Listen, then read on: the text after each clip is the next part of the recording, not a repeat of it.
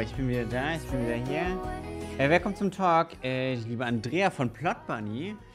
Moment, für die Menschen, die es nicht kennen, die Plot Bunny nicht kennen, das ist Plot Bunny. Wir haben hier auch eine kleine Szene dafür. Wir können uns das einmal äh, anschauen. Wir reden übrigens auch über dieses Spiel. Das habe ich auf Kickstarter damals gebackt. Äh, habe das auch zu Hause liegen. Ähm, es geht halt hier, das ist ein, also äh, Plot Bunny ist ein Verlag für äh, Pen Paper Rollenspiele und Erzählspiele aus Berlin. Also hierher. Ähm, genau, und die machen halt auch viel mit, mit Queeness und Co. Können da gleich ein paar Fragen auch stellen. Also wenn ihr Fragen habt, könnt ihr die auch gerne raushauen. Ähm, wird sie bestimmt alles gut beantworten können. Ähm, ist auch eine wundervolle Person. Wir haben einmal, glaube ich, Pen and Paper oder zweimal zusammen gespielt. Äh, war auf jeden Fall sehr lustig. Wollte ich dich einfach mal anrufen? Dann können wir direkt mal quatschen und ich kann gucken, ob das mit dem Sound funktioniert. Weil dann können wir das einfach, dann können wir, können wir. Ja, ruf an. Ich rufe jetzt einfach an. Du bist dann auch direkt im Stream zu hören, ne? Ich würde es nur kurz als Vorwarnung. Hallo? Hallo Internet. Ja, ich glaube, ich muss sie ein bisschen lauter stellen. Sag mal gerne was. Test, Test. Hallo, hallo, hallo Internet. Sehr gut. Dann würde ich dich nämlich gleich mal direkt ey, dazu holen, auch in die Szene. Wunder der Technik. Ja, es ist immer, es ist immer wundervoll. Ihr könnt ihr schon mal raten, ob ich Hasenohren aufhaben werde oder nicht. oh Moment, ich will auch Und wenn ihr falsch ratet, dann können wir das auch immer noch schnell ändern. Einfach alles dann richtig stellen. Jetzt müsstest du gleich zu sehen sein. Ah, guck mal, aber du liegst über mir. Äh. Gar nicht. Jetzt aber. Sehr schön. Guck mal, es funktioniert. Ah, schön, dass du Wunderbar. da bist. Wie geht's dir? Hi Internet. Hi, hi Finessi.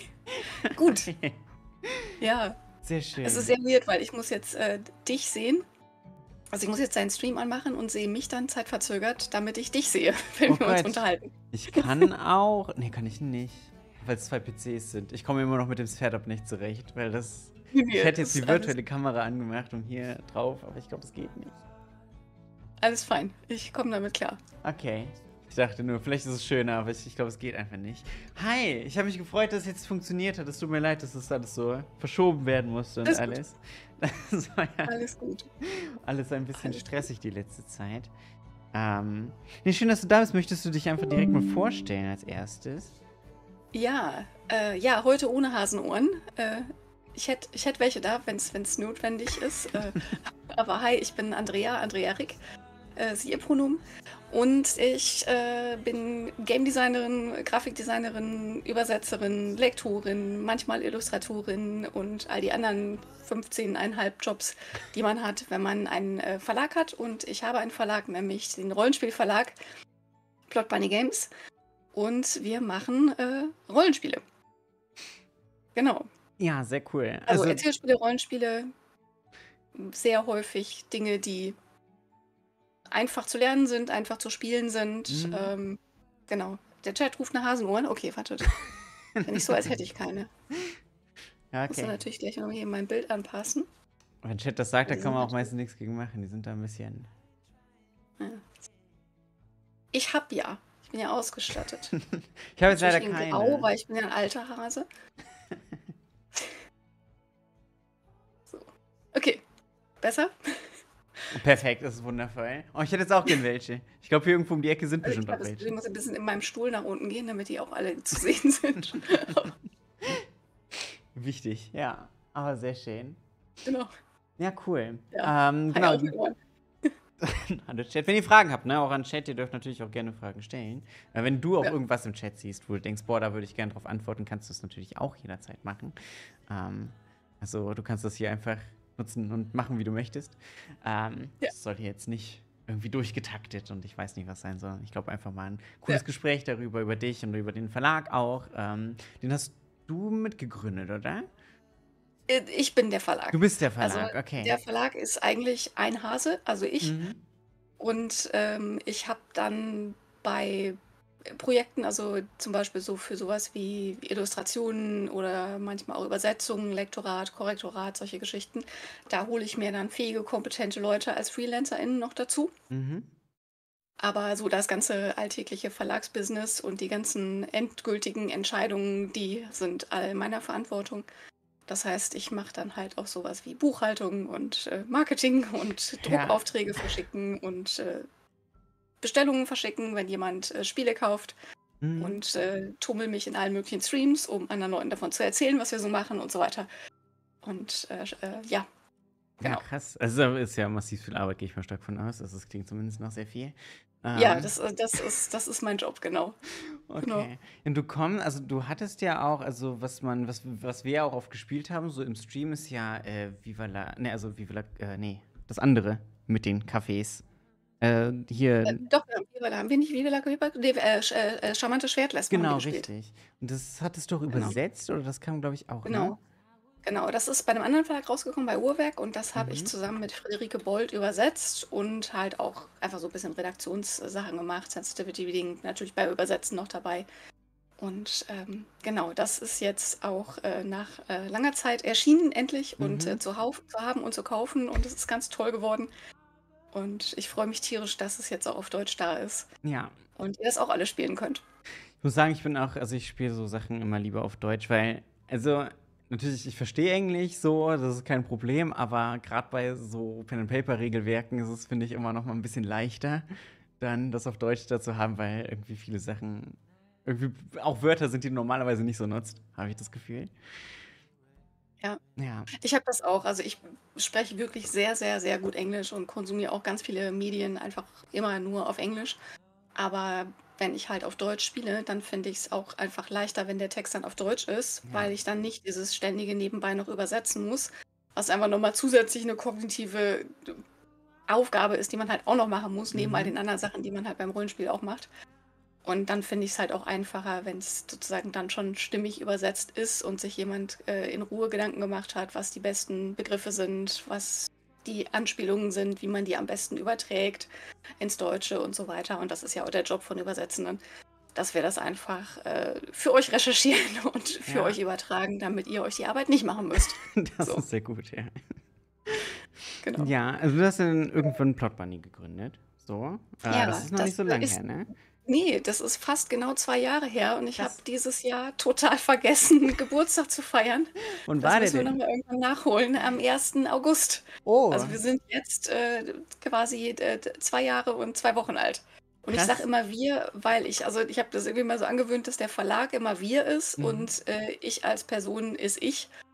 Und ähm, ja, manchmal vermischt sich das, aber das ist so ein bisschen so meine, meine Trennung im Kopf. Ähm, ja, weil verstehe ich. natürlich, wie gesagt, ich habe ja schon gesagt, der, also ich bin der Verlag und ich habe die Verantwortung, aber äh, die Arbeit wird nicht nur von mir gemacht, sondern da werden halt auch andere Leute eben reingeholt Mhm. äh, für, für Projekte, die dann eben cool und kompetent mich unterstützen. Zum Beispiel Jasmin, die auch im Chat ist. Hi Jasmin. äh, genau. Und äh, Ja, Ja. Sehr, sehr cool. Genau.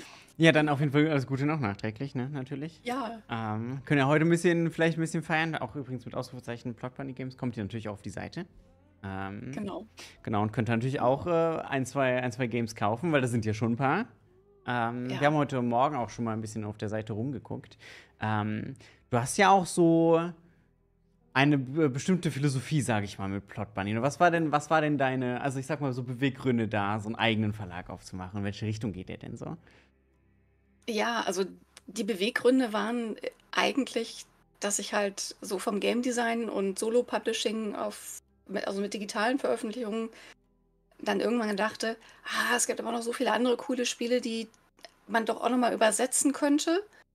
Und wo aber einfach gar nicht genug Verlage existieren, um das alles zu machen. Oder Mhm. wo die Verlage vielleicht auch kein Interesse haben, diese speziellen Spiele jetzt zu machen. Und ähm, dann habe ich angefangen, ähm, mal so zu überlegen, was braucht es denn, um so einen Verlag zu gründen und habe fest damit gerechnet, dass irgendwann so eine Sache kommt, wo ich sage, ja, nee, lass mal, voll der Dealbreaker, will ich nicht. Und das kam halt nicht. Und dann habe ich halt diesen Verlag gegründet. Und seitdem äh, läuft es gut. Und ich bin super zufrieden. Und äh, ich meine, das Gute ist, ich habe natürlich vorher auch schon viele Sachen gemacht äh, als Freelancerin und habe eben, äh, also ich war schon vorher selbstständig und kann halt auch einfach viele Sachen, die ich mir im Laufe des Lebens schon angeeignet habe, Mhm. die jetzt gut sind für den Verlag. Also das habe jetzt nicht alles von null gelernt. So. Und ähm, was mir halt bei Plot Bunny Games super wichtig ist, ist, dass wir eben ähm, marginalisierte Stimmen ins Zentrum stellen und auch marginalisierte Leute ins Zentrum stellen. Das heißt, ähm, dass die meisten Spiele, die wir rausbringen und die meisten Leute, mit denen wir arbeiten, halt irgendwie in irgendeiner Form marginalisiert sind. Also ob sie jetzt queer sind oder neurodivergent oder chronisch krank oder behindert. Ähm, People of Color haben wir jetzt noch nicht so super viele, aber das ist in der deutschen Rollenspielszene eh so ein bisschen schwierig, weil die einfach auch extrem weiß ist. So. Hm. Ähm, also da arbeiten wir noch dran. Ähm, aber ansonsten, ähm, ja, wir bemühen uns da eben einen Schwerpunkt drauf zu legen. Das heißt nicht, dass wir das ausschließlich machen. Mhm. Ähm, aber es ist schon auch einfach ein Interesse, weil da auch einfach viele coole Spiele entstehen. Und das ist ja die Hauptsache, dass es ja. coole Spiele sind, wo man Bock hat, die zu spielen und äh, ich Bock habe, die zu verkaufen. so, ähm, genau. Genau. Ja, es ist super cool und super wichtig. Also ich muss auch sagen, ich mache ja auch schon Pen and Paper, seit ich Kind bin, also wirklich Kind, mhm. Kind. Und ähm, ich meine, das es ist, also meiner Erfahrung nach, ich weiß nicht, wie du das siehst, aber ja. Diversität in gerade so den großen Rollenspielen ist eigentlich nicht so das große Thema, würde ich jetzt einfach mal sagen. Ja, also ich spiele ja die großen Rollenspiele gar nicht so viel, mhm. ähm, sondern eher so die äh, kleineren, nischigeren, erzähllastigeren und habe auch gar noch gar nicht so lange, also du spielst mit Sicherheit länger Rollenspiel als ich, ähm, weil ich habe erst äh, in der Pandemie angefangen. so. Und ähm, aber ja, es ist natürlich schon so, dass da einfach oft äh, einfach andere Normen sind und man jetzt quasi in den letzten Jahren Leute sich bemühen, das eben sozusagen nachträglich noch irgendwie einzubauen und diverser zu machen. Da gibt es ja schon Ansätze. Aber es ist halt immer so ein bisschen kein organisches, es war von Anfang an dabei, sondern es wird jetzt halt nachträglich irgendwie reingewurstelt. So, mal besser, mal schlechter. Mhm. Und ähm, was dabei halt untergeht, ist, dass eben zum Beispiel, ich bleibe jetzt mal bei, bei Queerness, dass ja queeres Game Design nicht nur die Frage stellt, welche Figuren tauchen, vor, tauchen auf in unserem Spiel, dürfen die auch queer sein? So, oder wie können die queer sein? Ähm, sondern dass es eben auch zum Beispiel einfach hinterfragt wird, mit welchen Mechaniken spielen wir eigentlich, mhm. welche Themen stellen wir ins Zentrum, müssen wir eigentlich immer kämpfen? So. Ähm, oder gibt es vielleicht ganz andere Sachen, die wir erkunden können im Rollenspiel, die noch gar nicht, äh, also die jetzt nicht so von den Klassikern äh, Dungeons Dragons oder der, das Schwarze Auge irgendwie abgedeckt sind. Ähm, und da gibt es natürlich auch einfach queeres Game Design, ähm, was eben da auch noch weitergeht. Oder auch zum Beispiel äh, eben antikoloniales Game Design, mhm. die eben auch sagen, hey, diese ganzen, du gehst in den Dungeon, haust da die Leute kaputt und klaust deren Zeug, ist im Grunde voll die krass koloniale Geschichte. Mhm. Und das wollen wir eigentlich gar nicht erzählen. So. Und äh, warum werden eigentlich, warum sind die Monster immer irgendwie dunkelhäutig oder äh, irgendwie entstellt und damit irgendwie eben, also warum werden Behinderungen benutzt, um Monstrosität darzustellen und so weiter. Und diese ganzen Geschichten kann man sich natürlich im Rollenspiel genauso stellen wie in allen anderen Medien und Kulturformen mhm. auch, wo es ja auch gemacht wird. So. Und da gibt es eben auch einfach äh, durchaus Spiele, die das selber zum Thema machen oder eben einfach andere Leute oder andere Geschichten ins Zentrum stellen. Mhm. Und ähm, genau, das äh, ist eben auch ein Anliegen, was ich äh, bei Plot Bunny Games gerne unterbringen möchte und eben auch in meinem eigenen Game Design ähm, quasi, quasi umsetzen will, genau. Ja, voll gut. Also ich muss sagen, ich habe mir jetzt über ein, zwei Punkte, die du jetzt genannt hast, noch keine Gedanken gemacht, aber es ist halt, also du hast so recht. So, es ja. ist halt eine Sache, die man dann, also gerade du, du, du, beschäftigst dich ja sehr, sehr viel damit der Thematik. Und ich glaube, ja. Sachen, die halt im Alltag nicht so auffallen, dass das halt ja. so ein Ding ist, wo man einfach mal drüber nachdenken müsste. Mhm. Ähm, hast du so ein irgendwie ein Beispiel für so queeres Game Design, äh, worauf da, da so geachtet wird?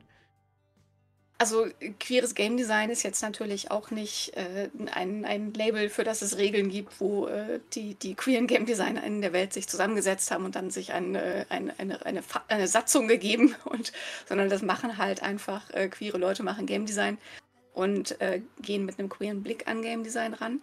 Und ähm, was ich halt zum Beispiel sehe, ist, dass ähm, es häufiger Spiele gibt, die ohne Spielleitung auskommen, also die mhm. eben entweder die, die Funktionen der Spielleitung entweder an das Regelwerk übergeben oder reihum abwechselnd oder aufgeteilt eben unter den Spielenden ähm, das haben, um eben einfach so diese Hierarchie rauszunehmen zum Beispiel. Oder die ähm, eben ja ganz andere Figuren ins Zentrum stellen, also äh, jetzt muss ich gerade mal überlegen, also ich, ich, tendiere natürlich immer zu meine eigenen Spiele als äh, Beispiel zu nehmen, weil die kenne ich am besten. Ja, tu das. ähm, aber zum Beispiel, ich halte das jetzt mal einmal kurz in die Kamera, also Viva la Queerbar. Ähm, das ist ein Erzählspiel um eine queere Bar und das Team, äh, was diese Bar betreibt. Und da ist zum Beispiel einfach vom Game Design gesetzt, ihr seid alle queer. Mhm. So. Und ihr seid queere Figuren und ihr macht eine queere Community und ihr seid, ihr macht einen queeren Raum und der existiert auch nach dem Spiel noch weiter. Und das ist zum Beispiel eine Geschichte, das baut auf auf einem anderen Erzählspiel, das heißt für die Königin. Und da spielt man auch von einer queeren Game Designerin und ähm, Alex Roberts heißt die. Und da spielt man eben sozusagen das Gefolge einer Königin, die auf einer Reise sind. Und am Ende wird sozusagen durch einen überraschenden Zeitpunkt äh, die Königin angegriffen und man muss halt entscheiden, ob man sie verteidigt oder nicht, nachdem man vorher halt rausgefunden hat, dass die Königin vielleicht gar nicht so eine unkomplizierte Person ist, äh, mhm. äh, wo man die vielleicht auch gar nicht immer so cool mit ihrer Macht umgeht. Und äh, was wir jetzt bei Viva la Cueva gemacht haben, ist eben zu sagen, wir wollen gar nicht dieses dramatische Ende, wo man dann am Ende die Frage stellt, uh, und wird die Queerbar weiter existieren, so, weil wir an allen Spieltests auch gemerkt haben, nein, die Leute wollen nicht die Queerbar riskieren. Die wollen unbedingt, dass die Queerbar weiter existiert, selbst wenn ihre persönlichen Figuren rausgehen aus dem Team. Mhm. Und dann haben wir das Ende halt umgeschrieben, dass wir halt gesagt haben, nein, es ist einfach, es braucht dieses Drama gar nicht, weil es ist eigentlich eher ein Slice-of-Life-Spiel, mhm. wo wir halt äh, einfach erzählen aus dem Alltag der Queerbar und was da so vorkommt und was queere Leute so erleben und was wie die Umgebung reagiert, wann sie cool ist, wann sie solidarisch ist, wann sie vielleicht irgendwie eher Stress macht und wie wir damit umgehen. Und ähm, dann ist eben unsere Schlussfrage eben eher so, was wünscht ihr euch für die Zukunft, für die Bar? Mhm. Damit eben auch dieses, um das nochmal zu forcieren, dass es eben weitergeht und die Queerbar nicht aufhört zu existieren. So, genau. Das ist jetzt ein Beispiel. Ähm, oder dass, ja, ich meine, also wirklich viel einfach so auf seiner mechanischen Ebene rum experimentiert wird, um eben ähm, zum Beispiel ein anderes Spiel, was mir einfällt, ist äh, Sleepaway von Jay Dragon. Mhm. Äh, das ist so eine Sommercamp-Horror-Spiel. Und da sind zum Beispiel äh, für Geschlecht gibt es jedem, du wählst halt dein Geschlecht als Figur, aber die Optionen sind halt jetzt nicht äh, weiblich, männlich, nicht binär oder so oder Agender, äh, sondern eben sowas wie Lagerfeuer. Oder äh, jetzt weiß ich natürlich anderen Beispiele nicht aus dem Kopf, aber eben so, oder Adjektive, halt irgendwie mhm. sowas wie äh, fließend oder ähm, eckig. Äh, weiß ich nicht, also kauft das Spiel, guckt selber rein und mhm. das gibt dir natürlich einen Anlass, darüber nachzudenken, was heißt es eigentlich? Weil du kannst natürlich trotzdem sagen, meine Figur ist weiblich und Lagerfeuer, aber wie unterscheidet sich eine weibliche, also eine Figur, eine Figur mit dem Geschlecht weiblich und Lagerfeuer von einer Figur, die weiblich und eckig ist, zum mhm. Beispiel? Oder Wind. So. Und dann fängst du einfach an, darüber nachzudenken, was meinen wir eigentlich und wie erleben wir Geschlecht eigentlich im Alltag? Das sind ja gar nicht irgendwie drei, vier Boxen und da passt alles super rein und alle, die in der gleichen Box sind, sind auch alle super identisch. Das ist ja Quatsch. So. Mhm. Sondern wir, wir, haben ja einfach auch Personen und, und andere Aspekte in unserem Leben, die einerseits beeinflussen, wie wir unser Geschlecht ausdrücken oder auch ausdrücken können, wie wir gelesen werden und auch ähm, wie wir, ja, also dass es eben so diese, diese in, in diesem Dialog ist und dass es eben auch kontextabhängig ist, wie wir wahrgenommen werden. Und das ist eben eine Sache, die dieses Spiel sozusagen in Anführungsstrichen ganz nebenbei aufgreift, während es im Grunde eine Geschichte eben über Sommercamp Horror erzählt, wo eben äh, die, die Camp-Betreuung äh, sozusagen die, die Kids im Camp vor dem Monster beschützen will. Was halt auch eine queere Geschichte ist. So. Es ist, ist super spannend, Genau. weil ich finde auch gerade so das Konzept eigentlich super wichtig, weil ich glaube, gerade viele, viele Cis-Menschen setzen sich Mhm. kaum mit dieser Frage auseinander. Ähm, Mhm. natürlich, ne, also ich glaube auch, dass die Frage äh, auch, auch vielen Nicht-Cis-Menschen irgendwie helfen kann, das glaube ich auch. Aber es ist halt ein super, also super interessant, einfach mal so drüber nachzudenken, okay, was heißt für mich Geschlecht? Warum ist Geschlecht das für Mhm. mich, was es ist? Ähm, und woher kommt das? Das ist super, super spannend. Finde ich auch ein sehr cooles Konzept. Ähm, nee, cool. Also, es, es macht dich halt auch frei, dich irgendwie so zuzuordnen. Da wären wir ja ständig im Alltag zu gezwungen. Jedes Mal, wenn du irgendein Formular ausfüllen musst, musst du dich ja irgendwie. Also ich muss halt jedes Mal überlegen, weil äh, ich bin halt nicht binär und äh, habe aber äh, mein Personenstand ist halt weiblich und wird es wahrscheinlich auch bleiben, weil das ist halt ja lange Geschichte, komplizierte Gründe.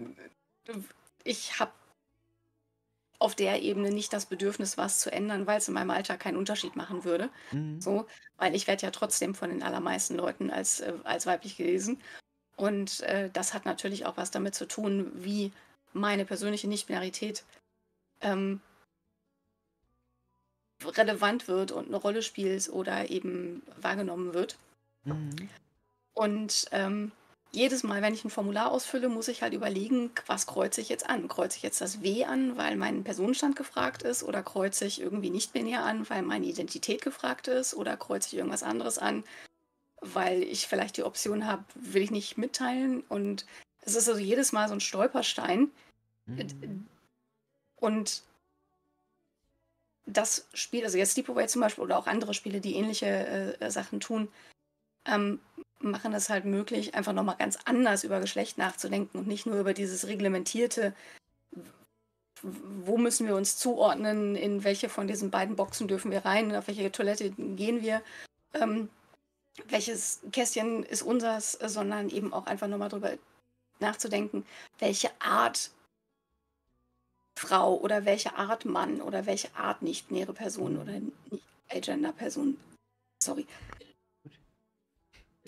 ähm, wollen wir eigentlich sein? Mhm. Und dann eben auch zu sehen, dass es eben ein riesiges Spektrum gibt.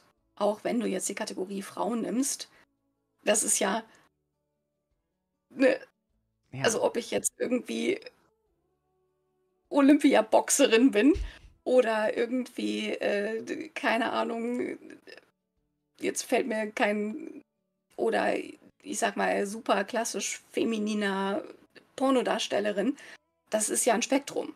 ja, so. absolut. Und dazwischen sind Millionen, Millionen Möglichkeiten und die sind alle Frau. Mhm. Und das ist jetzt ja auch nur äußeres Erscheinungsbild. So. Und nicht noch irgendwelche anderen Sachen, die auch noch relevant sind im Leben. So. Und ich meine, muss ich dir nicht erklären, weißt du alles, weiß dein Publikum wahrscheinlich auch, aber ich finde es halt immer Ja, nochmal wichtig, äh, das, äh, das gesagt zu haben. Ähm, also, ja, weil, weil ich das Gefühl habe, dass in der Disku die, die Diskussion in den letzten Jahren ja auch einfach so sehr irgendwie auf dieses reglementierte, kontrollierte, wir müssen entscheiden, wir müssen das messen, wir müssen das zuordnen, wir müssen die Grenze ziehen.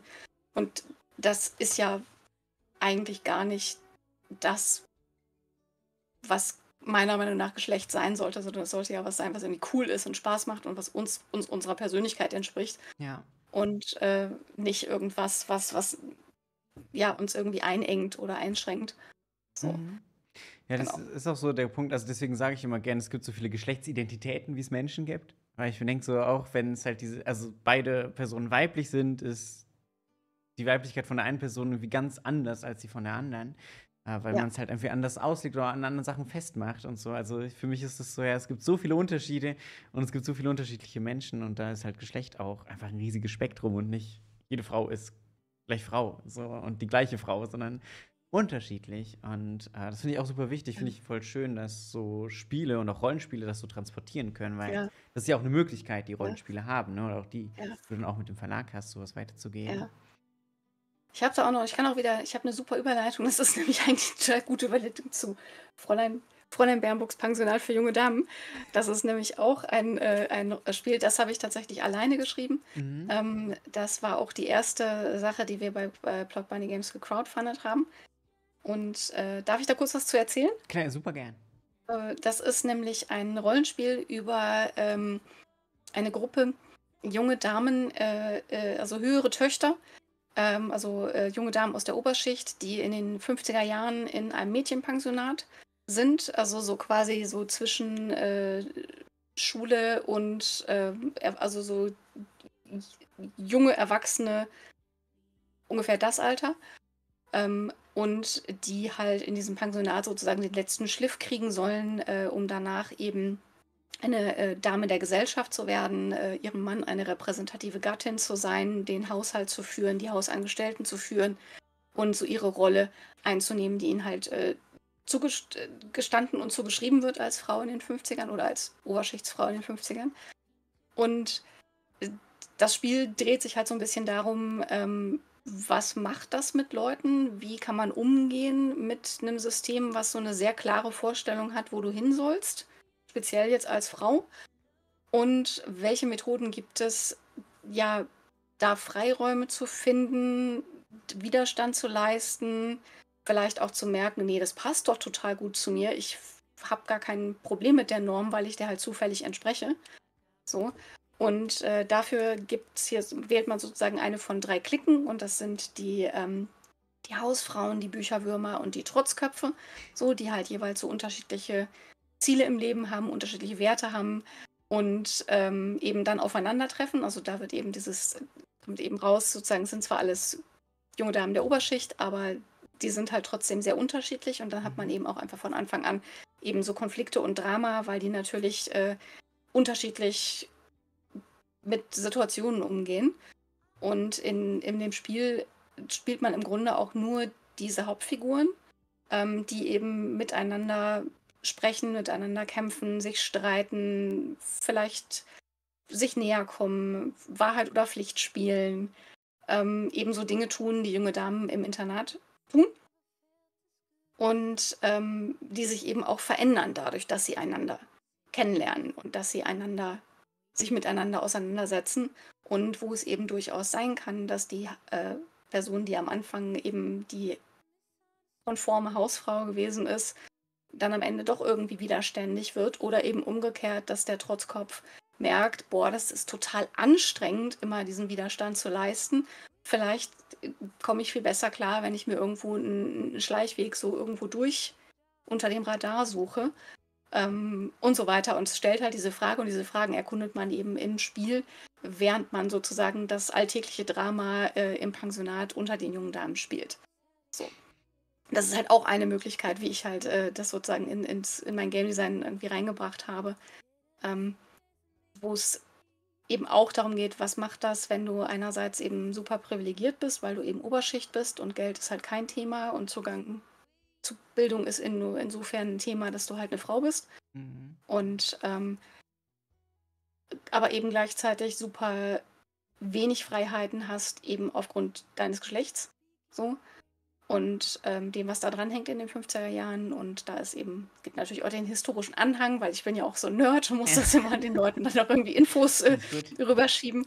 Und da gibt es halt dann so ein paar äh, Daten und Fakten. Wenn man halt das vertiefen will, dann findet man da auch noch so ein bisschen Eckpunkte, ähm, mhm. damit man halt weiß, was in den 50er Jahren eigentlich so der Stand der Dinge gewesen ist und dass es eben sowohl ähm, sehr viele ja, Einschränkungen gegeben hat, was du als Frau ähm, alleine machen konntest, dass es aber eben gleichzeitig auch das Jahrzehnt ist, wo zum Beispiel in den USA eben einfach auch die äh, homosexuelle Emanzipationsbewegung angefangen hat in den 50ern mit mhm. den ersten Organisationen. Und das ist halt auch wichtig, dass es gleichzeitig stattfindet. So der Backlash nach dem Krieg und äh, eben sozusagen diese Entwicklung von, von Freiräumen, ähm, die dann auch einfach zumindest in den USA auch ungebrochen weiter existiert haben.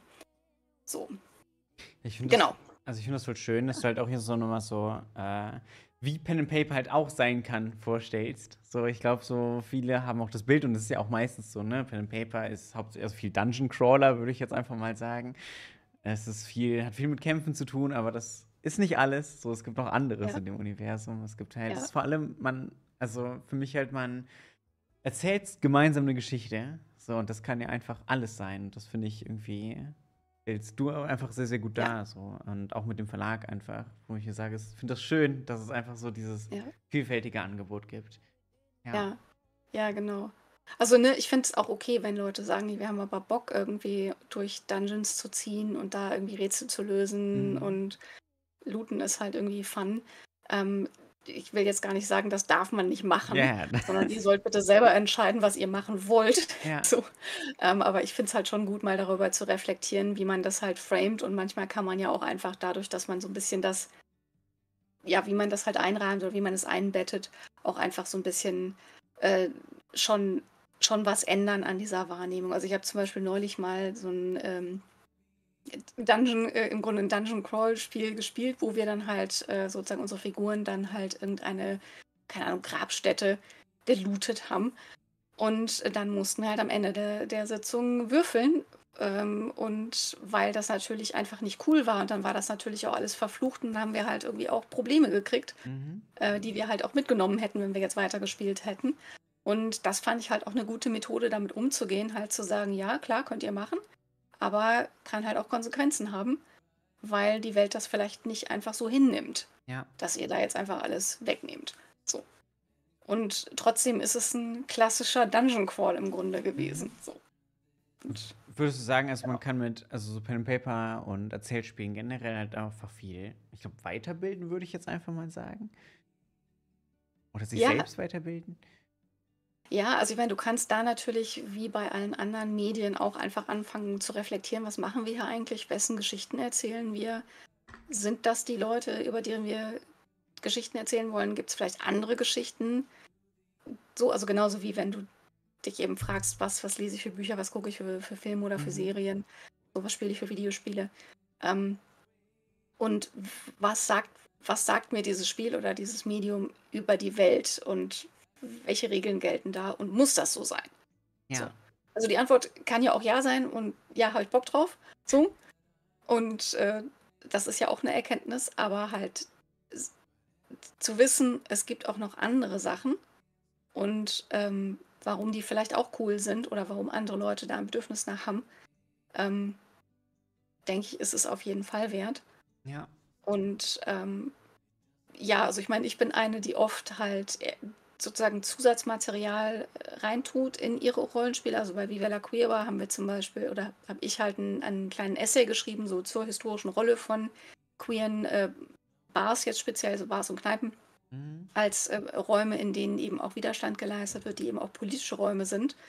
Und ähm, weil das eben nicht alle wissen. Also erstens wissen es nicht alle Leute, die selber gar nicht queer sind. So. Ja. Und es wissen auch nicht alle jüngeren Queers oder Queers, die halt eben an Orten leben, wo sie nicht diesen Zugang haben zu dieser, äh, also wo, in, wo es in ihrem Ort vielleicht einfach keine queere Kneipe gibt. So. Mhm. Ähm, oder die eben aus, keine Ahnung, Behinderungsgründen da gar nicht hingehen können.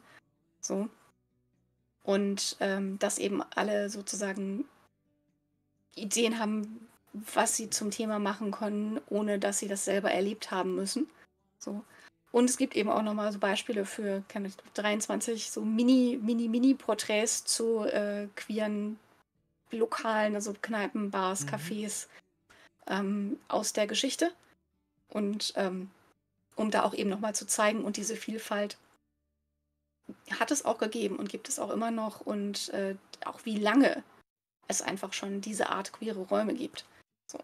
So. Das ist eben, die gibt es ja nicht erst seit vorgestern, sondern Ja. irgendwie die, die älteste Bar, die in der Liste steht, die ist halt irgendwie im 19. Jahrhundert gegründet worden und die gibt es immer noch. So. Mhm. Und äh, das ist halt schon eine Weile her. So, So ein bisschen, ja, ist jetzt nicht so, so neumodischer Trend, ne? Nee, nee, genau, also so dieses Hi. Wir sind schon ein paar Tage da.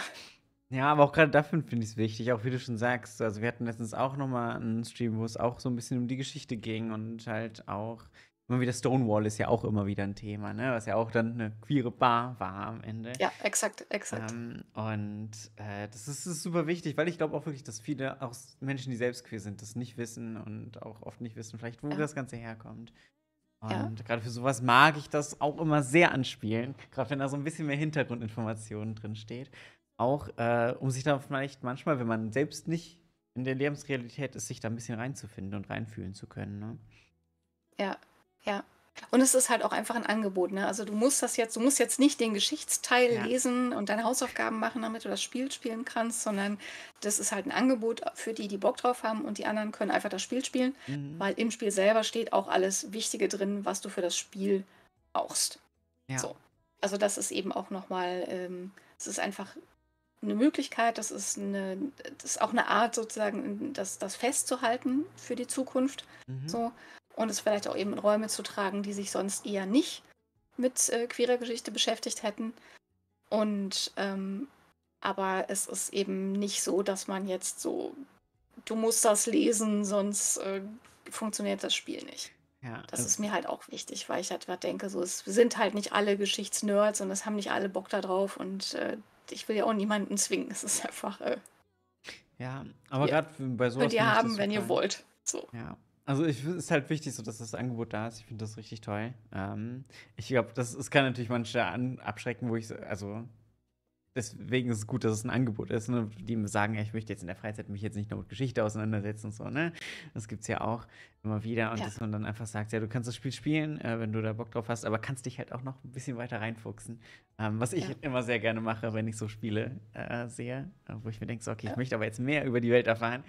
Ähm, und es ist dann schön, dass halt das Angebot da ist, dass man sagt, Ja. okay, ihr könnt euch weiterbilden und ihr könnt euch weiter in die Welt äh, reinlesen, Ja. wenn ihr da Interesse dran habt. Ne? Ja, kann, das kann ja auch einfach in alle mögliche. Es kann ja auch irgendwie, ich gucke mal schnell einen Begriff irgendwie bei Wikipedia nach sein, bis Mhm. hin zu, ich kaufe mir drei Bücher, weil es mich total gepackt hat oder jetzt gerade super interessiert. Mhm. So. Und äh, das ist ja, auch, ist ja auch eine Bandbreite, wo man da für sich das Richtige finden kann, wie es halt passt. So. Ja. Aber es ist halt wichtig, dass es dann so auch, auch Spiele gibt, die einem das Ja. zumindest so ein bisschen näher, näher bringen, ne? dass man irgendwie auch darauf kommen kann. Weil ich glaube, ähm, für manche Menschen ist es auch so eine Re Lebensrealität einfach nicht abgebildet, einfach so weit weg. Also es ist jetzt auch Mhm. nicht wertend gemeint oder so, sondern einfach, ne, es ist einfach. Ups, jetzt ist dein Ton bei Oh. mir gerade weg. Hallo?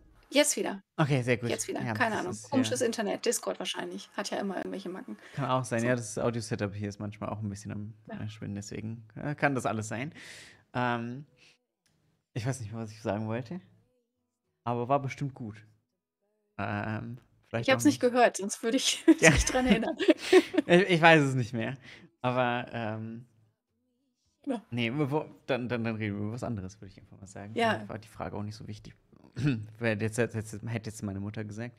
Ähm, nee, willst du vielleicht noch ein bisschen mehr über das, das also Viva la Queer Bar, wollen wir da noch ein bisschen drüber reden? Weil du hast jetzt die ganze Zeit schon so ein bisschen angeschnitten.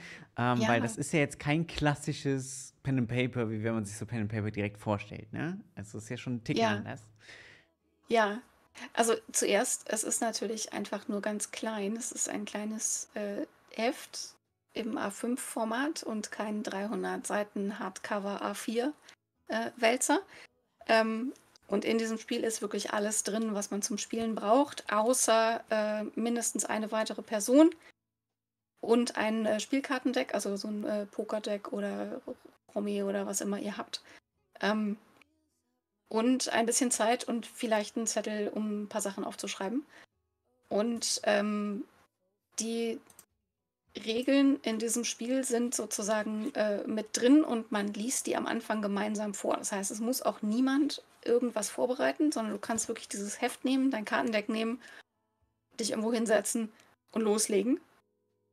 Und ähm, da in, in der Anleitung äh, ist eben einmal die Erklärung, was muss man, wie, wie spielt man das, dass man eben auch nochmal redet, in welchem Tonfall wollen wir spielen, dass eben äh, sozusagen das Veto, also äh, im Grunde das, was die X-Karte ist, äh, als, als Safety-Tool und Mhm. als Konsenstool eingeführt wird, wo man eben sagen kann, hey, wenn irgendwie im Vorfeld, ähm, im Vorfeld sagen, hier, ich will was nicht, aber du kannst halt auch während des Spiels, wenn jemand was einbringt, wo du sagst, boah, das verdirbt mir gerade den Spaß, äh, kannst du das halt sagen und dann guckt ihr gemeinsam, ob es geändert wird, entfernt wird, neu erzählt wird, wie auch immer ihr damit umgeht, aber du musst dich halt nicht rechtfertigen dafür, dass Ja. du das jetzt nicht hören willst oder erzählen willst. Und ähm, das ist einfach fester Bestandteil der Regeln in diesem Spiel und gehört eben auch dazu, wie man also dass man das Spiel eben lernt, dass alle das wissen, dass alle das äh, mitbekommen haben und dass eben auch alle daran beteiligt gewesen sind, sich sozusagen gegenseitig das Spiel zu erklären, dadurch, dass sie eben diese Abschnitte vorlesen. Mhm. Und äh, dann gibt es eben so eine kurze Einleitungsseite, ähm, wo eben sozusagen, was ist jetzt die Situation, in der das Spiel beginnt. Und äh, danach zieht man einfach Spielkarten aus einem Kartendeck oder kann er so am Tisch oder online, äh, wie immer. Und dann gibt es so Tabellen, wo man dann nachguckt, welche Karte man gezogen hat. Mhm. Und äh, dann steht dazu dann immer eine Frage. Also zum Beispiel, äh, welche Gruppe bringt immer gute Laune in die Queer Bar? Oder ähm, was ist der schlechteste Rat, den du von jemandem aus der Queer Bar erhalten hast? Oder jemand sagt, du gehörst gar nicht richtig zur Queer Bar Community. Warum siehst du das anders? Und wer stimmt dir dabei zu? Mhm. Oder äh, du warst lange in jemanden aus der Queerbar unerwidert verliebt. Hat sich das geändert? Und so weiter. Also es gibt eben Fragen äh, über die Bar, über die Veranstaltung der Bar, über das Umfeld der Bar, über Beziehungen im Team oder äh, zu den Gästen. Und ähm, man denkt sich halt einfach äh, was aus, nachdem man halt in der Vorbereitung kurz vorher festgelegt hat, wo ist unsere Bar? Also ist sie jetzt, keine Ahnung, auf einem Raumschiff oder im Fantasy-Mittelalter oder in, in so einer Cyberpunk äh, Untergrund, Club, irgendwas. Ähm, oder gehen wir in die, die, reale Geschichte zurück und sagen, lass uns doch eine Queerbar, keine Ahnung, in den 90ern spielen mhm. oder in den 50ern oder in den 20ern äh, in Berlin oder so. Ähm, und steckt halt sich so einen groben Rahmen und dann fängt man einfach an, sich was auszudenken. Und das ist bei den ersten ein, zwei, drei Fragen, äh, die halt in der Runde gestellt werden, ist es immer noch so ein bisschen so, ah! also so diese Angst vor dem leeren Blatt. Aber ja. das Coole ist halt, man kann einfach nichts falsch machen, sondern man kann einfach was, was reinbringen mhm. und sich darauf verlassen und darauf vertrauen, dass die anderen am Tisch halt das ergänzen oder weitere Vorschläge machen. Ähm, und man das eben einfach gemeinsam ausgestaltet. Und ich habe es einfach auch noch nie erlebt, dass es nicht funktioniert hat, egal mit wem Schön. ich dieses Spiel gespielt habe. Mhm. Es funktioniert einfach mit allen Leuten, die grundsätzlich Bock darauf haben, eben spontan sich was auszudenken. Ja. So. Das ist voll cool. Ja, Wenn man mehr. Ja, ja, sorry, eine Sache noch. Wenn man jetzt mehr Zeit äh, zum Nachdenken haben will, dann kann man das Ganze natürlich auch irgendwie so als, keine Ahnung, äh, Text-Rollenspiel äh, machen und dann, keine Ahnung, in einem Discord-Kanal spielen oder so. Äh, dann hat man das Problem auch noch gelöst. Mhm. Aber äh, es ist halt schon im Grunde einfach als Spiel gedacht, was man eben äh, am Tisch oder in einem, in einem Videocall zusammenspielt. So. Ja. Das ist voll toll. Wir wollen das ja auch noch machen, ne? Online zusammen hier auf dem Kanal. Äh, ja. So ein bisschen nach der Gamescom. Es ist jetzt erstmal ja. ein bisschen Gamescom-Stress. Ähm, ja.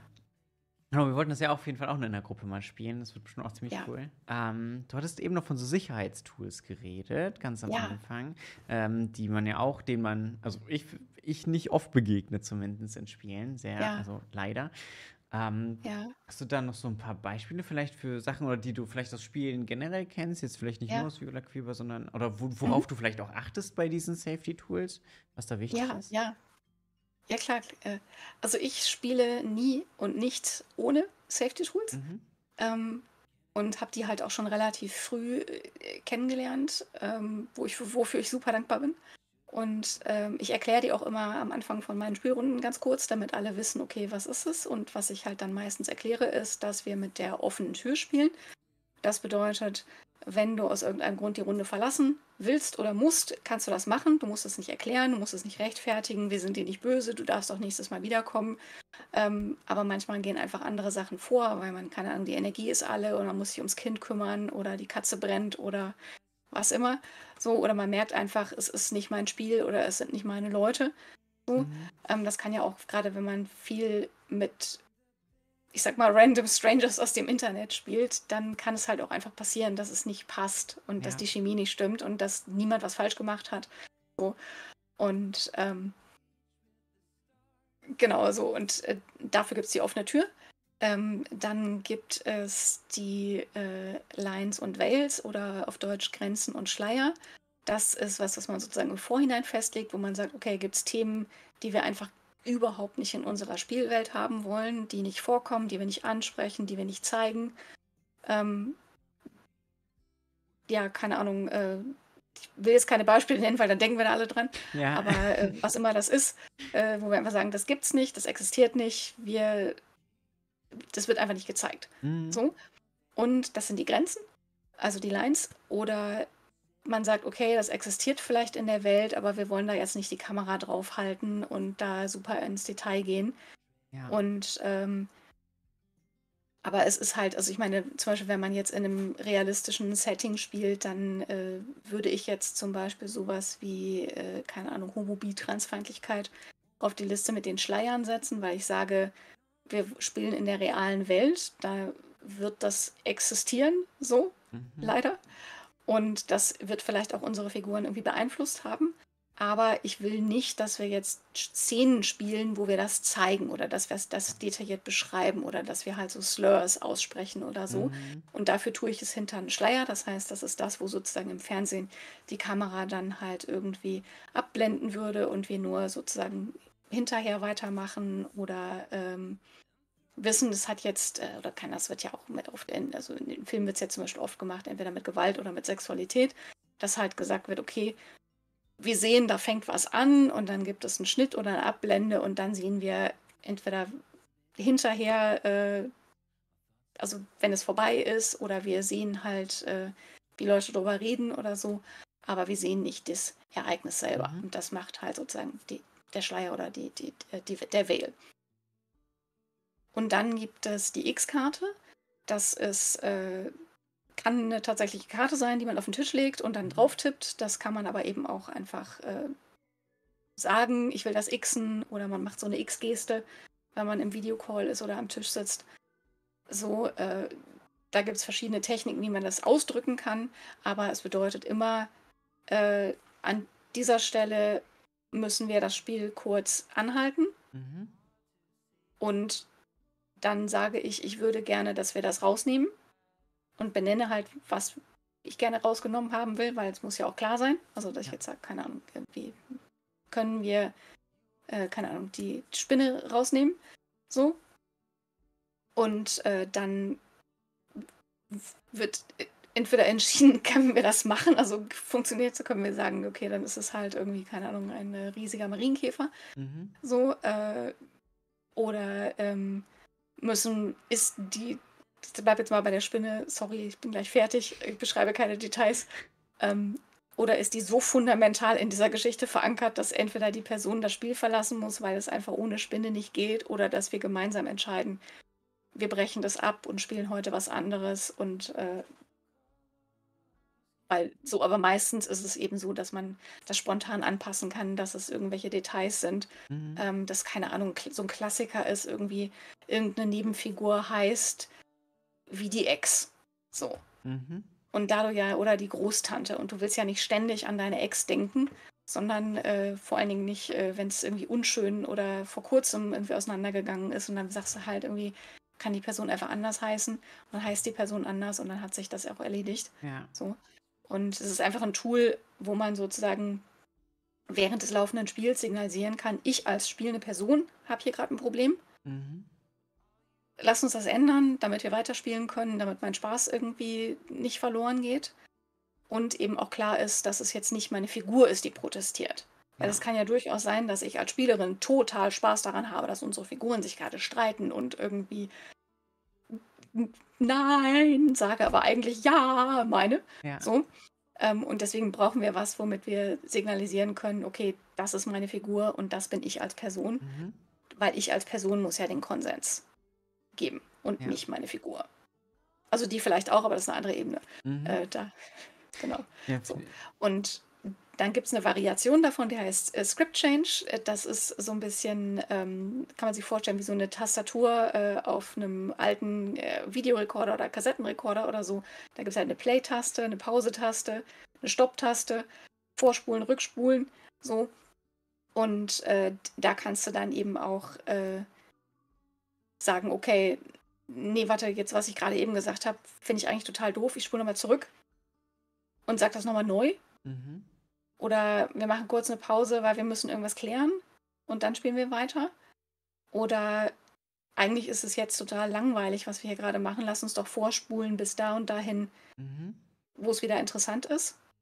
So, wo man eben dann auch so Zeitsprünge und dann hat man eben so diese, diese quasi Bedienfelder, um eben so ein Bild zu haben, was machen die. Und das bedeutet, das heißt irgendwie, das Tool heißt sozusagen Script Change und ist im Grunde eine, eine Detaillierung von dieser X-Karte, die aber auch während des laufenden Spiels mhm. funktioniert. Und dann gibt es noch äh, am Schluss nach der Sitzung äh, zum Beispiel Stars and Wishes oder äh, Roses and Thorns. Mhm. Das sind im Grunde Feedback-Tools. Also äh, Roses and Thorns oder Rosen und Dornen sind, da kannst du halt sagen, halt alle eine positive Sache und eine negative Sache ähm, aus der Runde, dass man nochmal so ein bisschen so eine, so eine Rückmeldung bekommt hat, was ist gut angekommen, was ist vielleicht nicht so gut angekommen. Oder es gibt eben die Möglichkeit, die ich meistens benutze, eben Stars and Wishes, Sterne und Wünsche, wo alle am Ende nochmal ein Highlight sagen. Das haben wir in Viva la Cueva auch mit reingeschrieben mhm. als Tool.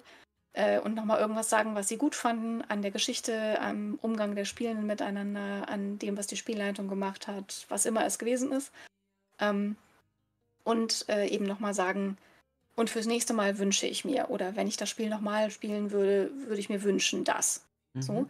Und das hat im Grunde ja auch wieder die Möglichkeit, dass du eben Kritik anbringen kannst, aber dass du die Kritik eben nicht, und das war voll Kacke, sagst, ja. sondern dass du eben die in ein, eine positive Handlungsmöglichkeit mhm.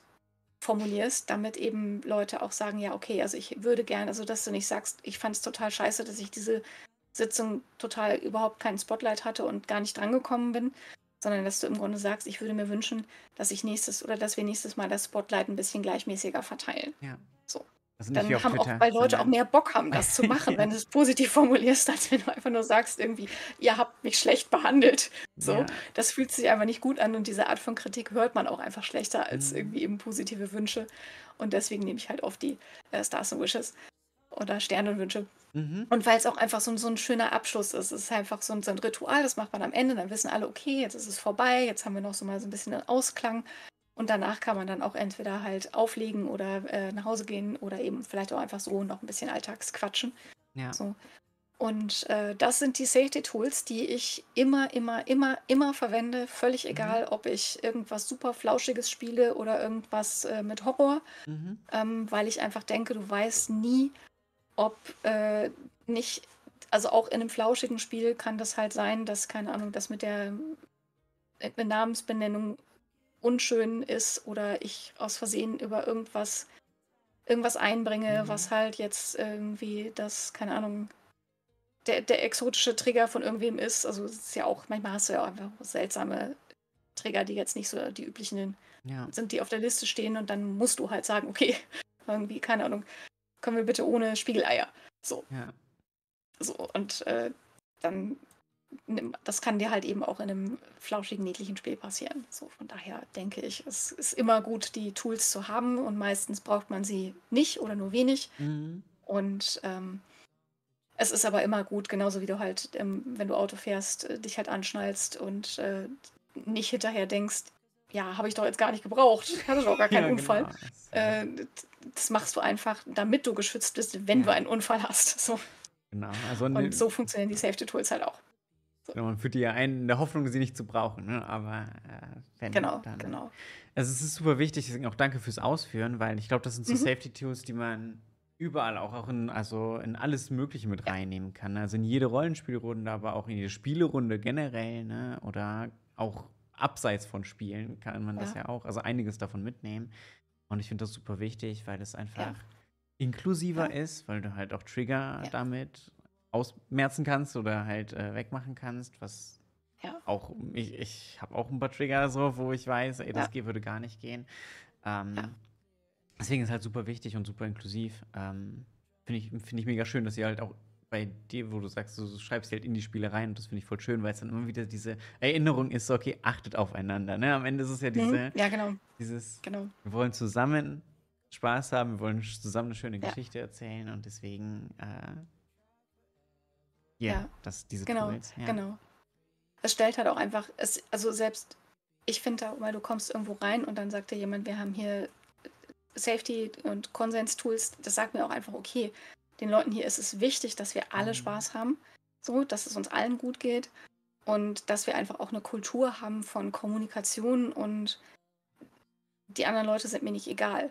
So, sondern ein Rollenspiel ist ja was, wir machen das ja miteinander und nicht Ja. gegeneinander oder äh, parallel zueinander, so, sondern es ist ja eine Sache, die wir gemeinsam machen und wie alle Sachen, die wir gemeinsam machen, funktioniert es besser, wenn wir kommunizieren, äh, wie wir das machen Ja. wollen und was wir machen wollen und uns auch währenddessen noch abstimmen, Mhm. ob es gerade noch cool ist oder ob wir was nachjustieren wollen. Ja. Das ist ja nicht anders, keine Ahnung, du jetzt in der WG sitzt und Plenum machst und redest, äh, Mhm. funktioniert der Haushaltsplan noch? Oder, ähm, keine Ahnung, Ja. äh, in, in deiner Uni-Gruppe darüber sprichst, ob die Zusammenarbeit in der Arbeitsgruppe noch läuft oder wer Mhm. welche Aufgaben übernimmt und so. Also es sind einfach ja normale Kommunikationsdinge, die halt formalisiert worden sind, damit man sie schnell erklären und schnell äh, mitnehmen kann und es eben auch so ein gemeinsames Vokabular gibt. Mhm. Ähm, aber wenn man jetzt eine Gruppe hat, wo man seit äh, 15 Jahren zusammen spielt, dann kannst du, dann hast du viele dieser Dinge machst du, ohne sie extra so zu benennen. ja. So. Und ähm. Genau.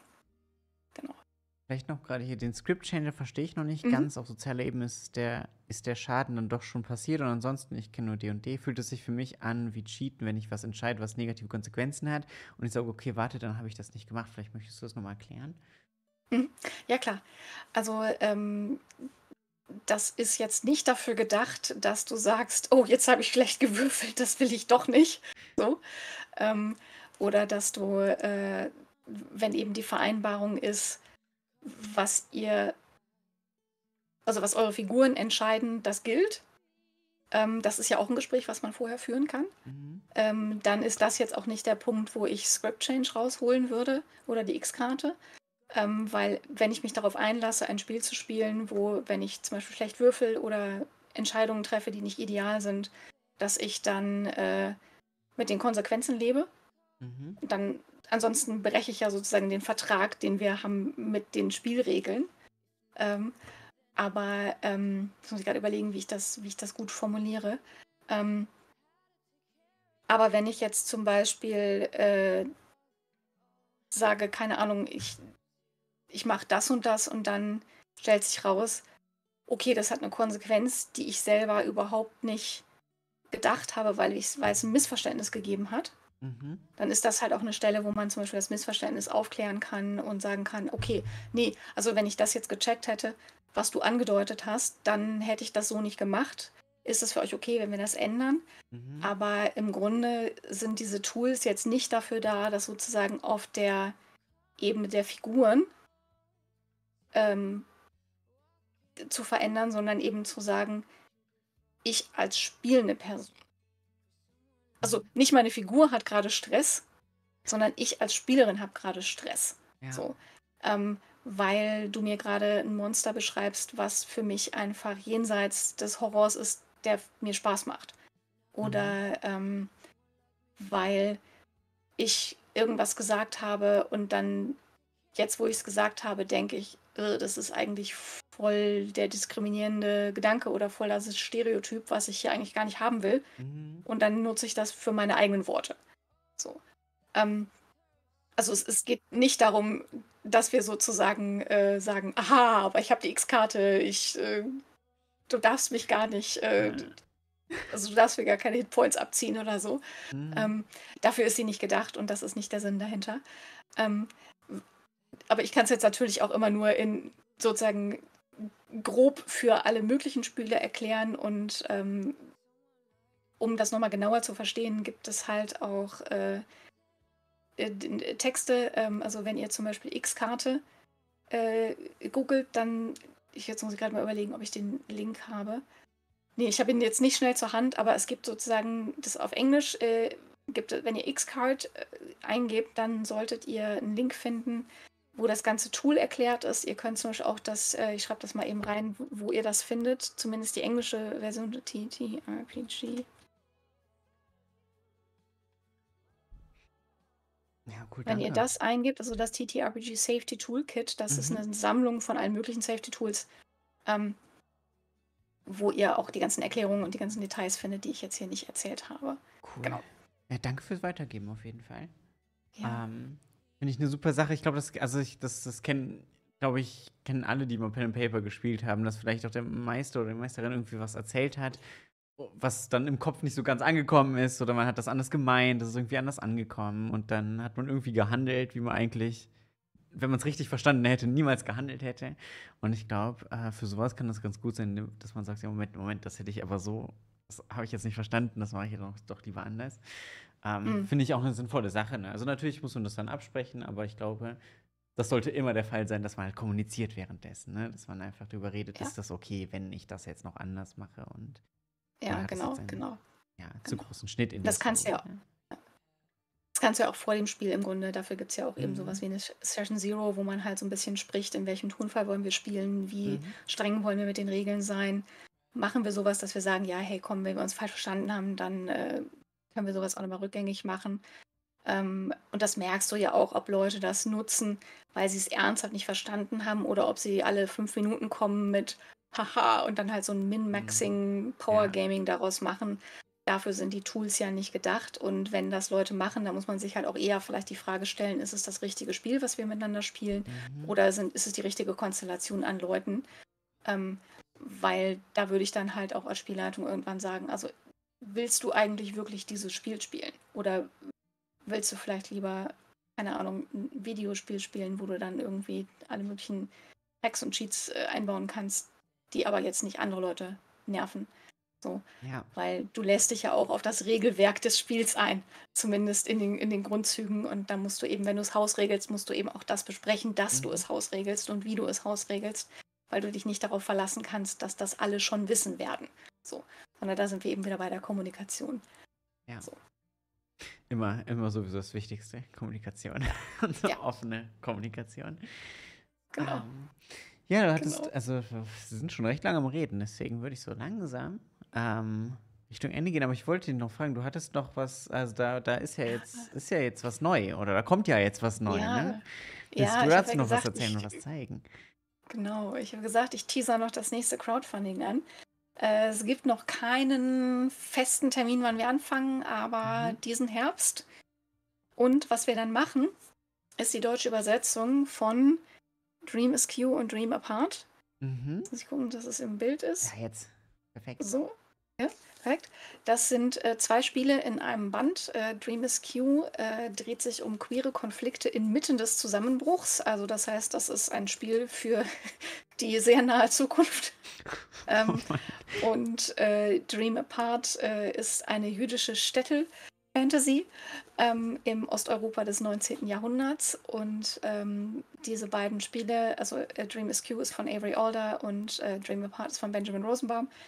Ähm, das sind äh, die beiden Spiele, die ähm, das, die Designfamilie Belonging Outside Belonging äh, begründet haben. Ähm, wenn ihr Game, also Rollenspiel-Nerds seid, dann sagt euch das vielleicht was. Ansonsten äh, ist es in diesem Buch dann erklärt. Oder ihr äh, gebt es mal in die Suchmaschine ein und guckt, ob ihr was findet. Es ist eben sozusagen eine, eine Systemfamilie.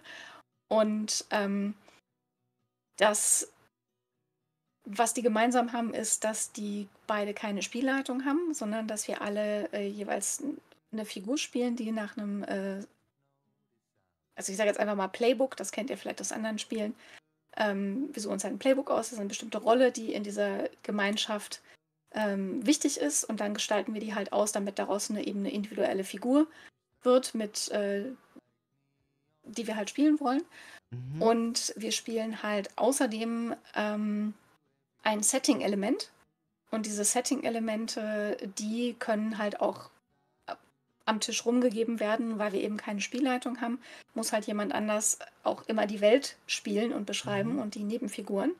Und äh, da ist es dann jetzt so, also zum Beispiel Dream Apart hat äh, der wilde Wald, ähm, also sozusagen, und wenn jetzt meine, also wenn ich den Wald habe, dann spiele ich halt den Wald, wenn jemand in den Wald geht Mhm. und äh, oder eben auch alle Lebewesen, die in dem Wald sind.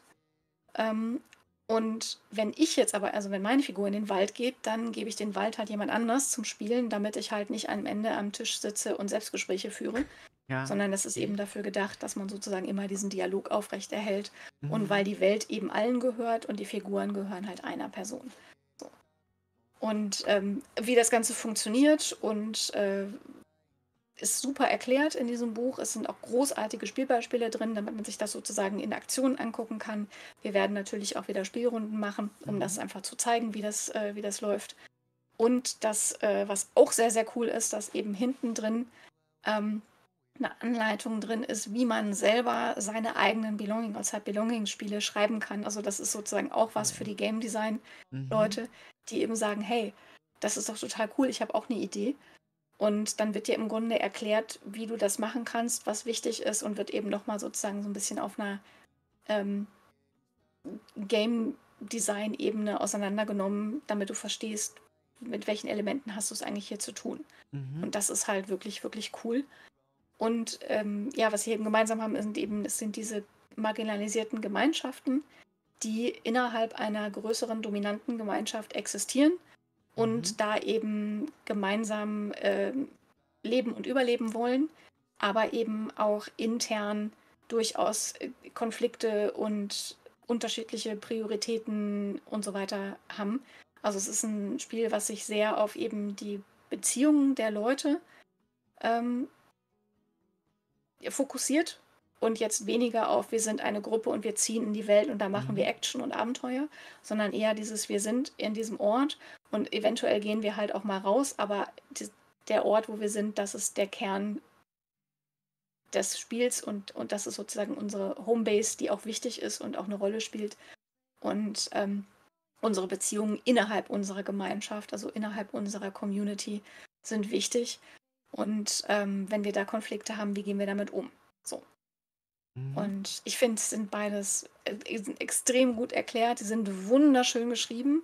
Und äh, ich übersetze das zusammen mit äh, Lena Richter. Also Lena Richter hat äh, äh, insbesondere das Dream is Q übersetzt und ich habe das Dream Apart übersetzt und den, das Drumrum äh, der beiden Spiele. Und ähm, ich freue mich da sehr, sehr, sehr drauf, dass wir das, äh, dass wir das auf Deutsch rausbringen können. Und es hat auch einfach ganz tolle äh. Illustrationen. Ich gucke jetzt gerade mal hier ist zum Beispiel so ganz das Mhm. ist eben eins der, eins der, äh, eine der Rollen, die man spielen kann. Ähm, oder hier. Da. Ja, die sind richtig schön. So. Und ähm, also es ist halt, ich finde es wirklich auch super äh, schön äh, vom, vom Layout und, und vom Mhm. Erscheinungsbild. Und genau, es wird unser erstes Hardcover. Ich bin schon sehr Okay. aufgeregt. Und wir werden das crowdfunden. Mhm. Ähm, ich muss noch entscheiden, welche Plattform wir benutzen werden. Also es wird entweder Kickstarter oder äh, Game on Tabletop. Mhm. Ähm, aber wenn ihr äh, Plot Bunny irgendwie folgt auf Social Media oder auf unser Discord kommt oder äh, dann bei Zeiten auf der Website guckt, da wird das dann alles stehen und auch alles verlinkt werden, ähm, sobald das entschieden ist und äh, dann eben auch gemacht wird. Mhm. Genau. Ja, kannst du mir das gerne auch Und dann ich- ja. auch schicken. Dann kann ich das ja auch noch auf dem Discord Ja. teilen oder so. Ja, genau. Genau. Genau. Und ich, ich freue mich da super, super drauf, dass wir Mhm. da die, die Übersetzungsrechte bekommen haben, weil es einfach, äh, ja, es sind zwei super wichtige Spiele. Es sind zwei richtig gute Spiele und Mhm. Avery Alder ist einfach sowieso eine fantastische Game Designerin. Und da sind wir eben auch wieder bei dem, wo wir ganz am Anfang waren, äh, von wegen queeres Game Design. Die ist nämlich auch eine queere Transfrau Mhm. und äh, hat eben wirklich viele einflussreiche Spiele geschrieben, also auch Monster Hearts, äh, was schon auf Deutsch erschienen ist, oder ein ruhiges Jahr, was es auch auf Deutsch gibt. Mhm. Ähm, und äh, Benjamin Rosenbaum kennt ihr vielleicht eher, äh, der schreibt ansonsten hauptsächlich Romane, Mhm. äh, so aus dem äh, Fantastikbereich. Das lohnt sich also auch. Das sind schon auch, ja, und die sind wirklich super schön geschrieben, kann man auch einfach mal so lesen Mhm. so und sich, sich Ideen holen. Also auch da sind, äh, es gibt auch die Gender der Apokalypse. Da gibt es auch, also Geschlechter der Apokalypse ist auch ein Kapitel, Mhm. ähm, weil es da so ähnliche Sachen macht, wie das, was ich vorhin über Sleepaway geschrieben habe, weil Sleepaway hat es nämlich eigentlich aus Dream is Q Ah, äh, okay. sozusagen übernommen. Das war als zuerst da und äh, ich habe jetzt gedacht, dass, also äh, da sieht man eben auch, dass sozusagen so, so queere Game DesignerInnen eben auch einander beeinflussen und eben Sachen auch irgendwie aufnehmen und weiterentwickeln. Mhm. Und ähm, ja, ja, also es ist wie gesagt, was Jasmin schon schreibt im Chat, es ist, äh, es ist kein Zufall, dass das so viele andere Spiele inspiriert hat, Mhm. ähm, die ähnliche Dinge tun oder eben die es weiterentwickelt haben. Und ja, ich kann euch die, ich habe sie beide gespielt und ich kann sie euch beide nur ans Herz legen, sind wirklich richtig gut. Mhm. Und äh, das, und natürlich mit, mit, ihr unterstützt natürlich immer auch nicht nur das eine konkrete Spiel, wenn ihr irgendwas bei Plot Bunny kauft oder im Crowdfunding unterstützt, sondern immer auch den Verlag insgesamt und auch zukünftige Spiele. Und äh, eben auch, dass ich Leute vernünftig bezahlen kann für das, Mhm. was sie, was sie machen. Weil das, äh, die Honorare in der Rollenspielbranche sind leider tragisch niedrig und sie Mhm. sind auch bei Plot Bunny Games immer noch nicht da, wo ich sie gerne hätte, aber sie sind immer noch über dem Branchendurchschnitt. Okay. Und das ist mir auch wichtig. Und äh, wenn die Crowdfundings gut laufen, dann haben wir halt einerseits eben Sicherheit, dass wir planen können und wir können eben auch den ganzen Leuten, die beigetragen haben und Übersetzungen gemacht haben, zum Beispiel Lektorat gemacht haben, Mhm. Korrektorat gemacht haben, eben einfach nochmal einen Bonus bezahlen.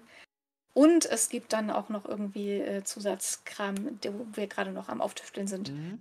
äh, den man irgendwie nur im Crowdfunding kriegen wird. Das, äh, oder wahrscheinlich nur im Crowdfunding geben wird. Ich, wie gesagt, ich will nicht zu viel ähm, festlegen, bevor es final äh, durchkalkuliert ist. Ja. Genau.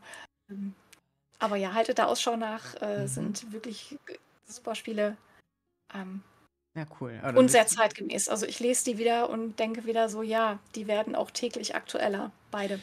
Oh ja, das denke ich Das mir. ist, ja. ja. Gerade in der Zeit ja, das ist ein bisschen schwierig. Ja. Aber du weißt Chat auf jeden Fall, was wir zu tun haben. Äh, Da Ja. werde ich auf jeden Fall auch auf, drauf aufmerksam machen, wenn es dann an den Start geht. Äh, klingt super interessant. das- ähm, Das wäre sehr cool. wie gesagt, Viva la Cuba hatte ich ja auch gebackt damals. Ähm, Ja. Genau, und würde das auch also gerne wieder tun. Ich finde die Art von Spiel einfach richtig, richtig schön und halt auch wirklich diesen, also ich finde, was die sehr haben, ist wirklich diese, dieser respektvolle Umgang miteinander. Und ich finde gerade, das ist ein Punkt, der deutlich gefördert werden sollte. und gerade auch, wo du sagst, es ist halt wichtig, dass halt auch faire Bezahlungen in der Branche stattfinden, weil es ja immer noch ein Problem ist. Ich habe auch einige Freundinnen in der zumindest äh, Autorinnenbranche und Co., wo ja auch immer noch die Preise sehr, sehr schwierig sind äh, und bei den Verlegen. Und deswegen, äh, wenn ihr das unterstützen wollt und äh, natürlich auch bessern wollt, dann könnt ihr natürlich auch Plot Bunny unterstützen. Ja. Und, Und das äh, Coole ist, wenn ihr international Leute kennt, die Englisch sprechen, dann könnt ihr denen im Grunde auch fast alles äh, empfehlen, was es bei Plot Bunny Games gibt, weil die aller, aller, aller, allermeisten Sachen gibt es auch auf Englisch. Also wir bringen das allermeiste zweisprachig raus. Also Mhm. jetzt gut, die Übersetzung natürlich nicht, weil da gibt es das Original ja schon. Gut, klar. Ähm, aber eben Viva la Cueva gibt es auf Englisch, äh, Hasi, wir haben ein Dungeon gekauft, gibt es auf Englisch, Dolly, wir haben ein Traumhaus gekauft, gibt es auf Englisch. mhm. Ähm, das Albtraumschiff gibt es auf Englisch und so weiter. Und wenn ihr jetzt wissen wollt, was das alles ist, dann kommt auf unsere Website oder geht auf die Itch-Seite. Ähm, da sind die englischen Beschreibungen, auf der Website sind die deutschen. Mhm. Und äh, vielleicht findet ihr ja was, was, was euren Geschmack trifft oder wo ihr Leute kennt, äh, die das interessiert. Und erzählt es super gerne weiter, weil äh, es ist weiterhin Thema. Seit äh, Twitter kaputt ist, äh, ist Ja. brauchen wir, nehmen wir jede Reichweite, die wir kriegen können. Mhm. Ähm, und das, was einmal am besten funktioniert, ist, wenn Leute es weitererzählen Ja. und eben Sachen teilen und von sich aus irgendwie irgendwas posten. Mhm. Und da helft ihr uns auch eben projektunabhängig immer, wenn ihr das macht. Und da sind wir euch jedes Mal super dankbar. Also ich, wenn ich irgendwas sehe auf Social Media, ich teile das dann auch immer wieder über den Verlagsaccount. Mhm. Ähm, das, genau. Ja, Also das geht nicht unter. Äh, das, äh, genau. Mhm. Gut. Yay, auch vielen lieben Dank. Also danke für die ganzen Einblicke. Und ich finde das so wichtig, was du tust. Ich finde auch so wichtig, dass du die Einblicke irgendwie teilst. Weil, also ich finde, also auch ich konnte heute sehr, sehr viel lernen da, ähm, dazu. Und ich finde es super toll. Also ich finde es super wichtig, sowas in Rollenspiele reinzubringen, in Diversität reinzubringen und auch diese Achtsamkeit aufeinander. Ähm, ich finde das gerade heutzutage sehr wichtig, das nochmal zu fördern. Und deswegen vielen lieben Dank für die Arbeit, die, äh, die du machst. Ja. Ähm, Finde ich super Ja. wichtig. Danke dafür. Ja, danke dir für die Einladung und danke für deine Arbeit, die du machst auf deinem Kanal, was ja im Grunde äh, ähnlich, äh, ähnliche Dinge sind, aber mit, einer mit anderen Methoden und anderen, äh, anderen Ansätzen. Also ich finde, das, äh, da, da ergänzt, also das ist ja für mich auch so ein Ding, dass man ergänzt sich einfach auch und die einen machen Genau. in der Ecke was und die anderen machen in der anderen Ecke was und hoffentlich wird am Ende die Welt besser. Ja. So, Ja, Genau, das ist ja, es muss Genau. an vielen Stellen was getan werden und das ist wichtig, dass man sich da breit aufstellt, glaube ich. Ja. Ähm, ja, genau. genau. Und Der Chat fragt gerade noch, äh, ob ich das auf Mastodon poste. Ja, natürlich. Also Plot Binding Games ist auf Mastodon, ist auf Blue Sky, ist auf Instagram, ist äh, so ein bisschen im Halbschlaf auf Facebook. Mhm. Und äh, rein theoretisch haben wir auch einen Tumblr-Account, aber da ist nicht so sehr das deutschsprachige Publikum, deswegen poste ich da meistens nur, wenn es was auf Englisch gibt. Mhm. Ähm, aber ja, es wird auf allen Kanälen rausgeballert, die ich finden kann. Und äh, natürlich auch auf dem Discord. Also wenn ihr irgendwie unsere Spiele spielen wollt oder generell äh, Spiele spielen wollt, seid ihr auch Mhm. immer eingeladen auf den äh, Discord. Die ganzen Links findet ihr auf der Website. Ähm, da äh, spielen wir immer mal wieder irgendwelche meistens erzähllastigeren Spiele. Nicht nur die aus dem Verlag, sondern eben auch andere Sachen. Und wir haben einen Rollenspiel-Lesekreis, wo wir halt äh, hart rumnörden über äh, Rollenspiele, die wir gelesen haben äh, und uns darüber austauschen. Und im Moment haben wir den äh, RPG a Day, wo wir sozusagen die, äh, jeden Tag eine Frage zum Thema Rollenspiel äh, reinwerfen in die Mhm. Community und alle die beantworten können. Und äh, ab September ist es dann wieder die Frage der Woche. Also da gibt es auch Möglichkeiten, einfach irgendwie ähm, da zu gucken, was wir da machen und zu gucken, ob das eine Community ist, wo ihr Bock drauf habt und euch Mhm. wohlfühlt. Und da seid ihr auch alle eingeladen. Und wie gesagt, Discord-Link gibt es auch auf der Website. Also auf der Website. Okay, super. Wollte ich gerade nämlich Genau, fragen. So. genau, genau. Ich guck, muss gerade nochmal gucken. Äh, also es gibt, äh, es ist auf der Startseite ganz unten, Mhm. ist, der Dis ist die Discord-Seite verlinkt. Ich habe es extra so ein bisschen äh, verschachtelt, damit man, äh, damit ich weniger äh, Trollbots äh, auf dem Server habe. Ja, verstehe ich. Und äh, dann, genau. Das ist auch wichtig. Da wird noch gefragt, genau. Aber es rechts? ist mit, mit, mit äh, ein, zwei, drei Klicks findet ihr es auf jeden Fall. Und genau. Du Genau, auf äh, rechts? sind wir noch nicht, Nicht. aber das wollte ich mir demnächst nochmal anschauen. Mhm. Aber genau. Genau. Ja, cool. Oh ja, danke für die ganzen, für die ganzen Links. Perfekt. Danke. Ach, das ist super. Äh, meine Mods sind einfach wieder Ja. krass. Ich Ein auch gerade raussuchen, aber die sind Genau. da. Nee, ey, vielen lieben Dank, wirklich. Äh, Ich werde dem Discord auch mal beitreten jetzt danach. Ja, Ähm, freue ich mich, ich finde das super cool, auch dass, mit, dass man halt auch Spielerunden finden kann und so. Es ist halt auch, ich finde auch gerade oft das Ding, weil, also in Real Life ja oft dann so weite Strecken sind und man dann sich dann treffen muss und so. Und da ist das schon echt, echt praktisch und gut zu haben, weil man da auch tolle Menschen kennenlernen kann. Das kommt ja auch noch dazu. Ja. Ähm, ja, genau. Es deswegen- sind natürlich nur tolle Menschen auf dem Server. Also ich meine nicht, dass ich sie alle persönlich kenne, aber es haben alle sich mit den Regeln einverstanden erklärt und dann, Mhm. äh, das ist zumindest schon mal ein Hinweis dafür, dass sie äh, nicht, nicht komplett scheiße sein können. Und ähm, genau, ihr dürft auch immer gerne sagen, ich würde gerne mal dieses und jenes Spiel aus dem Plot Bunny äh, Verlag spielen. Mhm. Hat jemand Bock, das anzubieten? Also da dürfen nicht nur Leute, äh, die halt Spielleitung sind oder moderieren wollen, äh, ihre Angebote posten, sondern auch einfach Leute, die gerne mal was spielen wollen. Ja, voll schön. Und äh, genau, im Zweifelsfall. Guckt einfach und äh, fragt. Ja, Genau. cool. Dann, ey, vielen, vielen lieben Dank. Ich weiß nicht, was ich noch sagen soll. Du hast alles schon gesagt, du hast, hast alles perfekt gesagt. So, was soll ich, was soll ich dazu noch sagen? Ich danke dir einfach auch für deine Zeit und danke, dass du, dass du uns auch hier äh, Einblicke gewährst. Und ich freue mich sehr darauf, dass wir auch Viva la Cuba mal onstream spielen. Äh, Es wird sehr cool. Ja. Wir werden das auch noch alles ankündigen, es muss noch alles ein bisschen geplant werden, aber äh, Ja. wird es auch. Das kriegen wir hin. Und wer weiß, weil womöglich habe ich dann schon den konkreten Crowdfunding-Termin und kann euch da mehr zu erzählen. Mhm. Und ähm, dann kriegt Ja, ihr das auch hier mit. Sehr cool, sehr schön. Dann vielen Genau. Dank. Äh, ich will dich jetzt nicht Ja, einfach danke dir für die Einladung nochmal. Danke für den Chat und die Kommentare und Fragen. Und genau. Ja, Oh, der Twitch-Link ist kaputt. Ich werde mir das, warte, ich notiere das. Ich werde mir das gleich angucken. Äh, was da los ist. Mhm. Weil ich bin natürlich auch die äh, Website-Betreuerin hier. Oh Gott. auch das ist mein Job. Dass du die Zeit gefunden Aber jetzt, äh, ja. das müssen wir nicht live machen. Ja. Äh, das kann ich für mich machen. Genau. Danke für die Einladung. Äh, gerne wieder. Und ich freue mich auf unsere Spielrunde, wenn wir uns dann wiedersehen. Ich mich auch sehr. Dann noch einen schönen Genau. Tag und vielleicht kann sich heute noch was Genau. erholen. Genau. Tschüss. Dann ciao. So, ey, vielen lieben Dank. Das war ein richtig schönes Gespräch.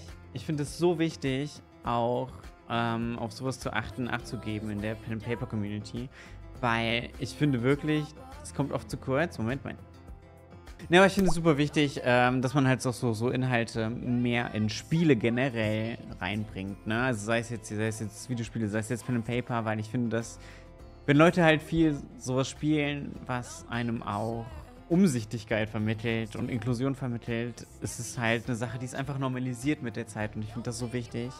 Ähm, und auch gerade auf Grenzen achten, weil ich das nicht so kenne aus der Pen and Paper Community. Oder, also, ne, es ist natürlich, sind da viele tolle Menschen, die auf einen achten, aber dieses äh, mit reinbringen direkt, dass man diese Safety-Tools hat, dass man miteinander redet, äh, dass darauf geachtet werden muss, ähm, beim Spiel finde ich super toll, äh, finde ich super wichtig. Und ich finde das mega schön, einfach weil auch gerade zu derzeitigen Zeit ich mir denke, wir müssen mehr aufeinander achten. Und da ist es schön, wenn man da auch so Tools beigebracht bekommt. Also ich finde, man kann daraus auch viel mitnehmen, so ins, ins eigene Leben. Voll schön bei euch. Ey, war voll schön mit dir. Echt vielen, vielen lieben Dank. Ähm, also ich glaube, man hätte auch noch acht Stunden weiterreden können, aber äh, vielleicht kann man das nochmal aufteilen in nochmal was anderes, weil es ist super interessant und super spannend. Ähm, deswegen vielen lieben Dank dir.